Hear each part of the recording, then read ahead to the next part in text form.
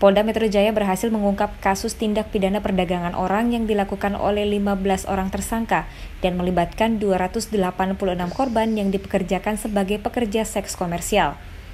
Ironisnya 91 korban merupakan anak di bawah umur. Setelah berkenalan dengan korban, para tersangka memaksa korban untuk menjadi PSK dengan imbalan 300 sampai 500 ribu rupiah. Korban ditawarkan kepada para hidung belang dengan menggunakan aplikasi micat. Menurut pengakuan para tersangka, mereka telah menjalankan aksinya sejak Januari lalu.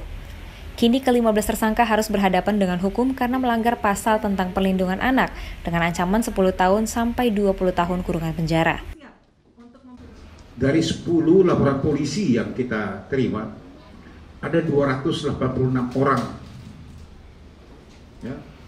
Kita korban juga, tapi kita amankan juga. Ini eksploitasi anak. Anak kecil aja anak di bawah umur ada 91 orang. Kemudian ada 195 orang dewasa. Nanti setelah itu baru ditawarkan dengan harga fee atau harga sekitar 300 ribu rupiah setelah dilakukan uh, atau setelah menginap bersama di dalam satu hotel maupun dalam satu penginapan khusus dengan bayaran 300 ribu rupiah sampai dengan 500 ribu dengan penawaran melalui media sosial.